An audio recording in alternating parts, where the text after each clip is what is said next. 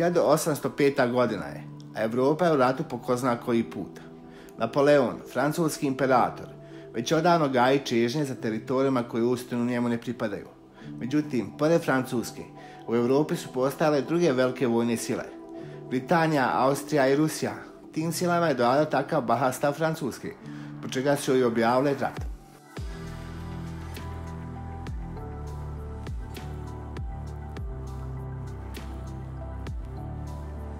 Francuska se u tome trenutku našla u nezavidnom položaju. Napoleon u svome maniru shvata da je napad najbolja odbrana. Ideja voditeljama je bila osvojiti Austriju i Rusiju i na taj način preduhititi njihovu namjeru osvajanja Francuske. Njegov vojni napad odlikuje se velikom brzinom i karakterističnim entuzijazmom, zbog čega su na kraju totalno nespremni Austrijanci izgubili bitku. Sljedeća stanca osvajanju je bila Rusija. Ova bitka je bila mnogo čemu teža.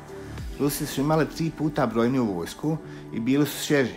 Sa druge strane, Francuzi su poslije teške bitke sa Austrijom morali prevaliti ogroman put da bi uopšte došli na bojno polje. Ali Francuzi ne samo da su pobijeli, nego su devastirali rusku armiju. U tome trenutku Rusi u kukavičkom povlačenju prave enormnu grešku. Odlučili su prići preko zaleđenog jezera. Napoleon je iskoristio tu situaciju, pa je naredio pajbu vrućih topolskih džuladi u jezera.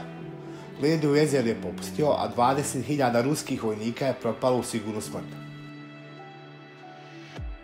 Napoleon je smatrao da zaslužuje neku vrstu nagrade za ovakav vojni uspjeh, pa je naredio da se izgradi triumfalna kapija. To ne bi bilo bilo kakva kapija, nego najveća kapija na svijetu.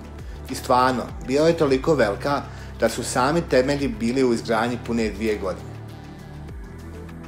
Plan je bio da po povratku Napoleon i vojska triumfalno prođu kroz nju i tako bilježe svoje vojne uspjehe. Međutim, plan nije uspio. Kada je Napoleon prvi put prošao kroz kapiju, to nije uradio kao veliki vojskovođa. Kroz nju je prošao u kovčegu. 30 godina je bilo potrebno da se kapija izgradi. Za to vrijeme Napoleon nije bio samo svrgnut, nego je u međuvremenu i umro od bolesti.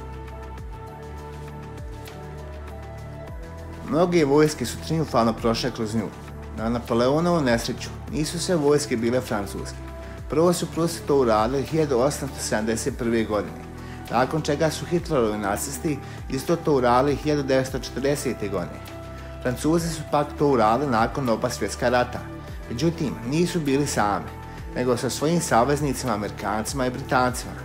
Lošu karmu prati i činjenica da nije više ni najveća na svijetu, Sjeverna Koreja napravila čak i veću.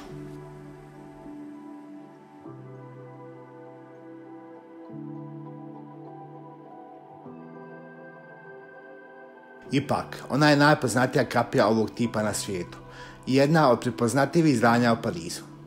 Pozdrav do sljedećeg videa.